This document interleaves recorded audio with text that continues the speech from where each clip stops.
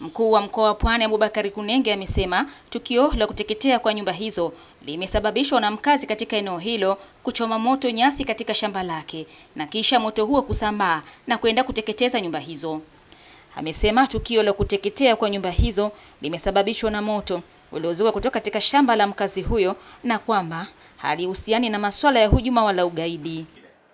Lakini kwa tathmini ya mwanzo ni mwananchi alikuwa anachoma moto eneo lake pale, na liwasha kweli, ila upepo ukawa ume umegeuza mwelekeo. E, kwa tathmini ya kwanza tulionayo ni, ni, ni kuchoma moto, sio ugaidi, sio hujuma na ni mkazi wa hapo hapo na nyumba yake anayoiungua. E, kwa hiyo lakini vyombo vinaendelea, tutatoa taarifa zaidi. Mkuu wa wilaya ya Rufiji Meja Edward Gowele amezungumzia chanzo cha kutokea kwa tukio la kuteketea kwa nyumba hizo na kwamba hakuna mtu yoyote aliyejeruhiwa katika tukio hilo. Leo tulikuwa tumepata janga la moto ambapo mwananchi mmoja akiwa anasafisha eneo lake moto uliweza kumshinda, na baada ya moto kumshinda ukateketeza nyumba kumi na tisa za wananchi hapa, ikiwa pamoja na mali na thamani ambazo zilikuwepo katika maeneo haya, lakini hatujapata majeruhi wala mtu kufariki, zaidi ya nyumba kumi na tisa pamoja na mali zao. E, lakini hali iko salama na wananchi wote wamewekwa salama.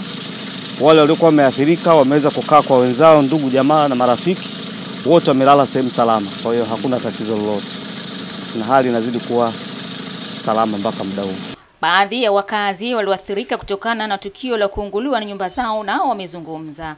Yaani ilikuwa mimi nimelala mida kama ya saa saba, nakuja kustuka nakuta moshi umetanda, nikiangalia nakuta moto unatokea kule, ni mbali, lakini kwa dakika ghafla tu nikakuta nyumba zote zinashika moto, yaani nyumba hadi nyumba linatoka kuti likiruka likirukia katika nyumba nyingine imeshika. Nimekuja tu kufuatwa na kijana wangu, anaambia baba, nyumbani huko nyumba inaungua moto. Baada ya kufika hapa nakuta nyumba yote imefanyaje, ishateketea. Ilikuwa kwenye saa saba na nusu saa nane kuendelea, maana upepo, muda wa upepo. Yaani nilijikuta ovyo, nipo vibaya sana, maana mpaka sasa hata sijijui ninavyo ninavyo taishiji, maana hapa ndio ilikuwa inanisaidia. Mkuu wa mkoa wa Pwani Abubakari Kunenge alifika katika eneo la tukio akiwa ameambatana na kamati yake ya ulinzi na usalama ya mkoa wa Pwani na wilaya ya Rufiji ili kutoa pole kwa watu walioathiriwa katika tukio hilo. Nikiripoti kutoka mkoa wa Pwani ni Josephine Mwaiswaga wa Star TV.